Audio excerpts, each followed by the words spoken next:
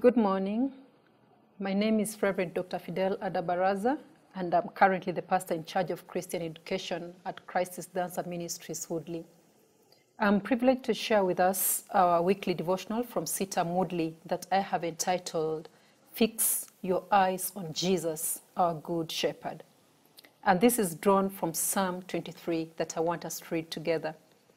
The Bible says, The Lord is my shepherd, I lack nothing. He makes me lie down in green pastures. He leads me beside quiet waters. He refreshes my soul. He guides me along the right paths for his name's sake.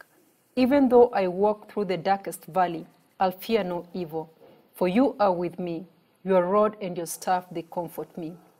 You prepare a table before me in the presence of my enemies. You anoint my head with oil, my cup overflows.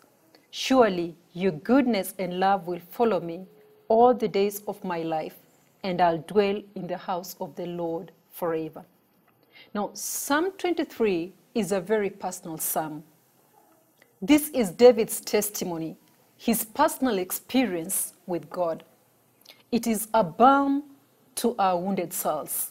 It covers all of life. With simple beauty, it speaks of green pastures and still waters, as well as dark valleys and enemies and adversities. But what comforts us and helps us is the psalmist's confidence in God. We realize as we linger over these words of Psalm 23 that what David writes is not poetic exaggeration or theoretical theology. He has experienced God in these ways. He has heard his voice. He has followed his lead. He has felt his care. And beneath the beauty of his words, there are solid convictions that are formed in the crucible of crisis. Now, in the first three verses, David refers to God in the third person. He says, The Lord is my shepherd. He makes me lie down in green pastures. He leads me. He restores my soul. Then in verse 4 and 5, he shifts his uh, utterance and he refers to God in second person. He says, I'll fear no evil, for you are with me.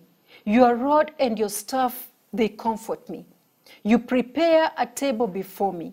You anoint my head with oil. And then he closes up again in verse 6 by returning back to the third person. And he says, Surely goodness and mercy will follow me all the days of my life, and I shall dwell in the house of the Lord forever. Now, why does David switch from talking about God with he to talking to God with you? And why does it happen in verse 4? Why didn't he just go on to say, Even though I walk through the valley of the shadow of death, I'll fear no evil, for he is with me. His rod and his staff, they comfort me. May I suggest to us, my brothers and sisters, that the change he to a more intimate you happens in verse 4 precisely because it's there he speaks of the valley he has walked. He has felt the shadows closing on to him. Verse 4 describes the crisis points in his life. And in those times, something deep happens between David and God. You see, we are more prone to talk about God when we are in the green pastures, and more prone to talk to God when we are in the dangerous zones, when we are in the dangerous gorge, when we are in the dangerous ravine. In the light, we are prone to wander off in pursuit of greener grass. But in the dark, we hug his knee. David changes from comments about God to communion with God because during his valley time, he stayed ever so close to the shepherd, never taking his eyes off him. He had experienced God in a way there that had ushered him toward intimacy with the Almighty God, with the Almighty Shepherd. You see, when life hurts as it sometimes will, and now it is, for most people due to COVID-19 pandemic. I invite you to a familiar oasis where we'll see that God is closer than you think in times of crisis such as the world is in now.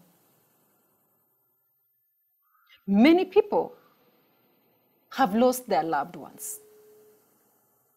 Some due to the COVID 19 pandemic, but some due to other illnesses. Some have lost their source of livelihood as they have been laid off their work. Businesses have collapsed. Some, their salaries have been cut into two or into half. Some families are under pressure at, at the verge of breaking, and many other things that are happening.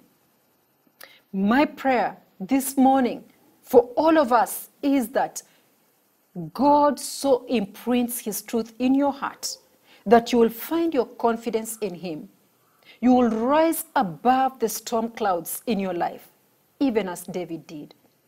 When you're walking through some unfamiliar valley and the shadows linger, just the way the coronavirus has hit the world and we are all in turmoil.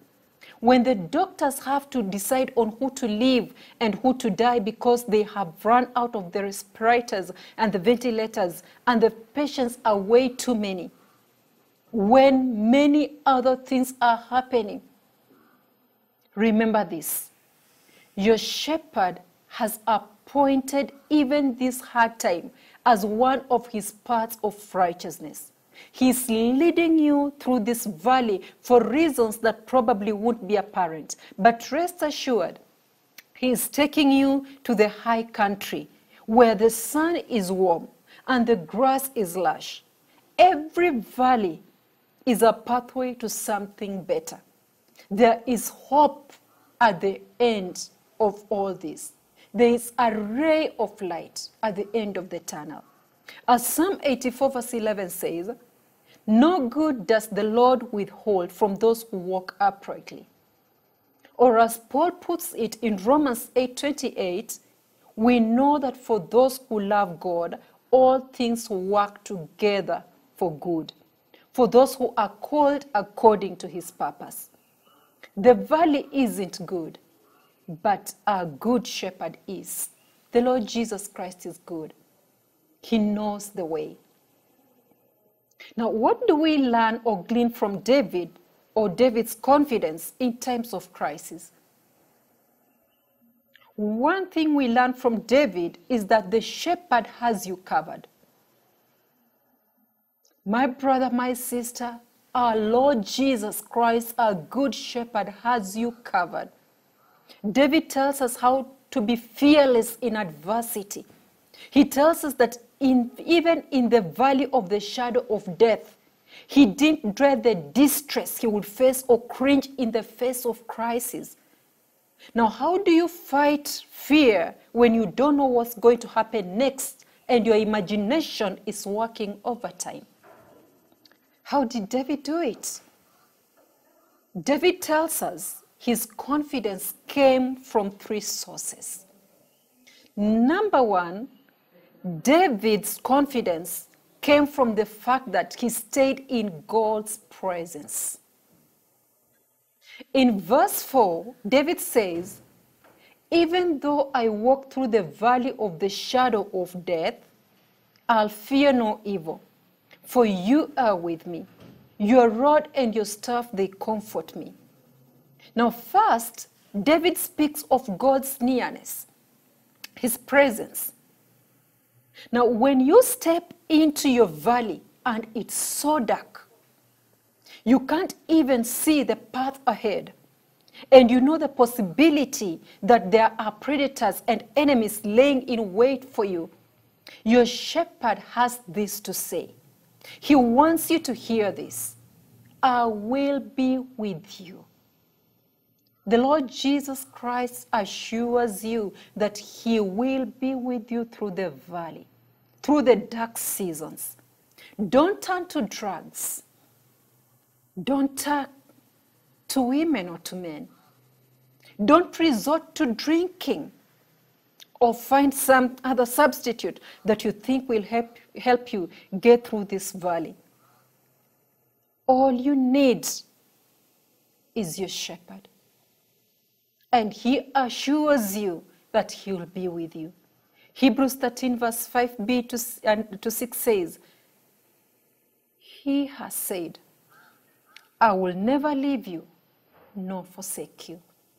So we can confidently say, The Lord is my helper. The Lord is my shepherd. I will not fear. There is no valley, no matter how dark, that you will go through alone. He will not leave you.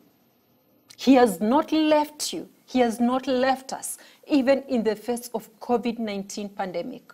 The Lord is with us, no matter what you're going through. Secondly, David drew his confidence from the fact that he saw God's power. David said he had no fear in adversity because of the comfort of God's power. He drew his confidence from God's power. God's power protecting him from that which would ruin him. A shepherd's rod was a two foot club made of oak with a rounded head that was whittled from the knot of the tree and had sharp bits of metal pounded into it. Now, this club was used to defend the flock against attacks from the enemies. It pictures the shepherd's power wielded against overpowering enemies that will come to attack the sheep. And just like David, child of God, this morning, I call on you, you need not fear. Greater is he that is in you than he that is in the world. So the Bible tells us in 1 John chapter 4, verse 4. Draw your strength from God's power. Draw your confidence from God's power. And thirdly, David drew his strength and confidence in the fact that he experienced God's leading. He says, Your staff comforts me. God's staff comforts him. He was referring to the shepherd's crook, and with its hook on one end, you see, a good shepherd would use it to guide the sheep lest they stray away. And just a gentle tap of the staff on a lampside would move them back into the fold. And the crook could gather up a sheep from a place where it might have fallen. So David felt comforted that his shepherd was guarding his steps, making sure that he makes it through the darkest the darkest of valleys, the darkness safely. David was supremely confident in God, not only about his present circumstances, but of grace in the future that will see him all the way home. He believed that the valley times were appointed for his good. He learned things about God that could be learned no other way in the deep province of life. He stayed close to God. He trusted in God's protection. He trusted in God's guidance all the way, all because he could say, The Lord is my shepherd. Child of God, trust in God's presence. Know that God is present and stay in God's presence. In the face of what you are facing, stay in God's presence. Secondly, draw your confidence and strength in God's power. Know that He will never leave you, He'll never forsake you, He'll never abandon you. And He has got the whole world in His hands. And thirdly, experience His leading. Let Him lead and guide you. Trust not in your own understanding. Trust in the Lord at all times. When you find yourself weak, when you find yourself in the dark, uncertain of the future, when all the color has drained out of life and your soul is downcast, look up to God. Fix your eyes on Jesus, our good shepherd. Stick close to him. Trust that He knows the way through this valley and will see you safely through. Believe that He has good reasons for taking this route, even though it is hard and unfamiliar. And hold on to the truth that there is something better waiting on the other side of this valley. God bless you. And let's pray. Dear Almighty God, we thank you this morning because you are a good shepherd and you hold the whole world in your hands. Lord, we draw our confidence in you, O God, just as the psalmist did in Psalm 23, O God. We draw our confidence, Abba Father, in the fact that, O King of glory, you are our leader and you will lead us safely to the other side of the valley. And there is something good awaiting us, O God, in your presence. So we thank you and we bless you and we pray for every family, every individual, every person that you will uh, reassure them, O God, and that Jehovah, you will intervene in their personal situations. In Jesus' name we pray. Amen.